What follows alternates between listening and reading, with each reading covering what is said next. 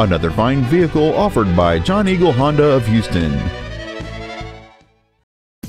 This is a 2010 Ford Focus. It features a 2.0-liter four-cylinder engine and an automatic transmission. Its top features include a rear split bench seat, a rear window defroster, a keyless entry system, alloy wheels, the SecuriLock anti-theft system, 12-volt power outlets, tinted glass, a low tire pressure indicator, a stability control system, and this vehicle has fewer than 35,000 miles on the odometer.